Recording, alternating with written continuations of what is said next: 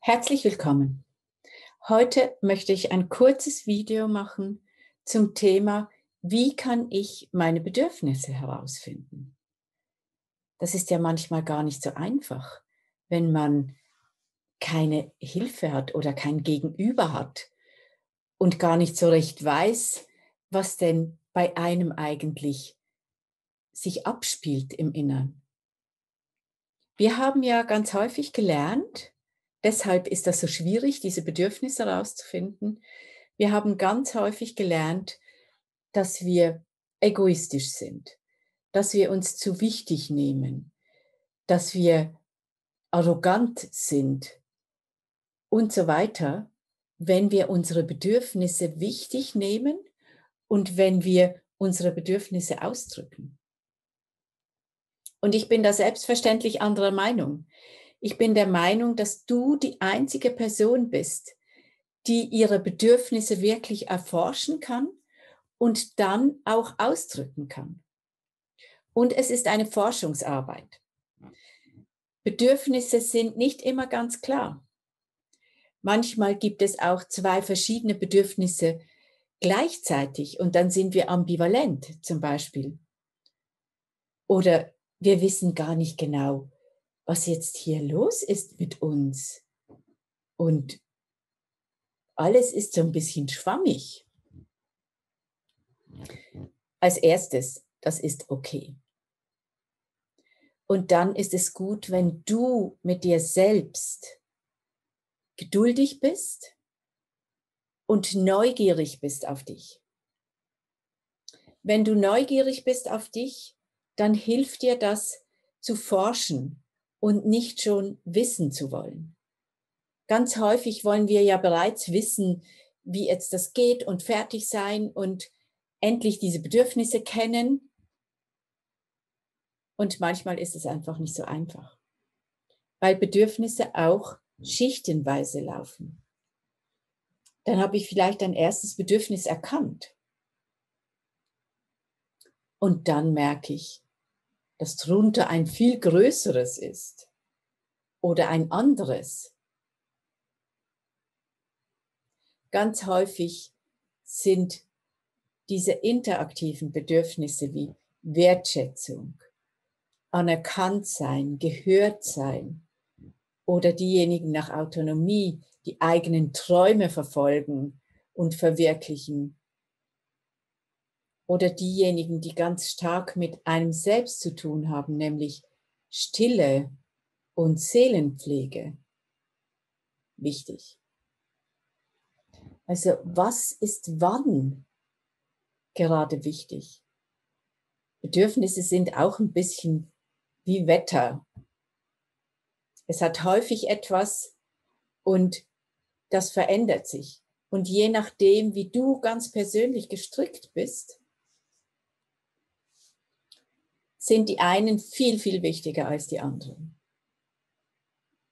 Was ich aber festgestellt habe über diese letzten 25 Jahre Unterricht in Kommunikation ist, dass diese interaktiven Bedürfnisse, die uns verbinden, die verbindend sind, die sind für uns ganz wichtig. Und auch diejenigen, die uns die Autonomie gewährleisten, also diejenigen, die uns erlauben, dass wir ganz frei sind und dass wir ganz autonom uns fühlen zumindest. Wir sind ja nicht ganz frei. Wir sind ja immer in Verbindung, weil wir sind ja Gruppenmenschen, auch wenn das jetzt im Moment so vereinzelt daherkommt und das gesellschaftlich so entwickelt, dass das Individuum so wichtig geworden ist. Wir sind immer noch darauf angewiesen, dass wir in der Gruppe sind. Und sobald wir die Zugehörigkeit nicht mehr haben oder diese gefährdet ist zum Beispiel oder die Sicherheit in der Gruppe, dann wird es für uns ganz schwierig. Da sind wir immer noch mit den alten Teilen des Hirns unterwegs. Was kannst du also tun, wenn, wenn du jetzt gerade nicht weißt, was dein Bedürfnis ist? Und wenn du auch mit niemandem darüber sprechen kannst. Das kann ja auch sein. Verlinke dir hier unten ein zwei Links, ein Dokument einerseits, das heißt Soforthilfe Kommunikation. Und der zweite Link ist eine Videoserie, die heißt Finde deine innere Wahrheit. Und da findest du Gefühls- und Bedürfnislisten. Und dann nimmst du diese Bedürfnisliste und schaust sie an. Also gehst mit neutralem Blick, ohne groß zu suchen, gehst du durch und schaust diese Bedürfnisse an. Und dann schaust du, welche dich ansprechen. Also bei welchem Bedürfnis hat es eine innere Bewegung? Das kann sein, dass es im Körper etwas macht dass es dich anspannt, dass es dich entspannt. Oder es kann sein, dass es so ein inneres Ja gibt. Und dann streiche dir die an oder mach dir eine Notiz. Und dann probier aus, wie das ist im Alltag, ob das übereinstimmt. Ist es tatsächlich so, dass Vielleicht hattest du eine Situation und aufgrund von dieser Situation hast du dann die Bedürfnisliste hervorgenommen. Und dann kannst du noch mal testen im Alltag und schauen, okay, ist das wirklich das, was ich will? Ist es das, was, was ich gerne möchte? Und ist es das, wofür ich mich gerne einsetzen möchte auch für mich? Und kann ich das? Mich einsetzen für mich. Das ist dann nochmal ein anderes Thema. Aber zumindest mal fühlen innerlich.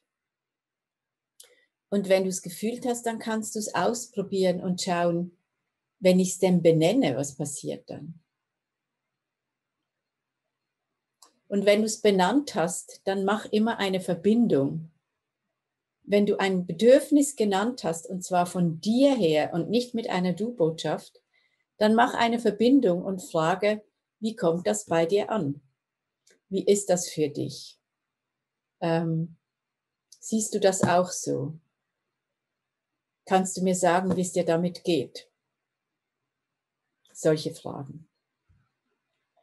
Und dann hör zu. Und dann forsche weiter.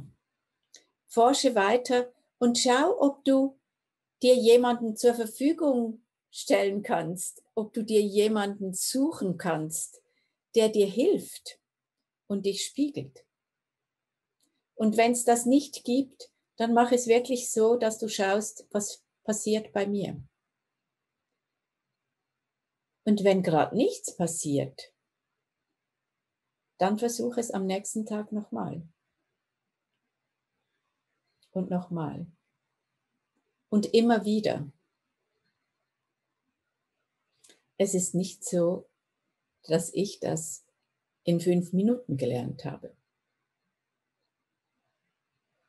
Ich habe das auch wie eine Forschungsreise mit mir selber gemacht.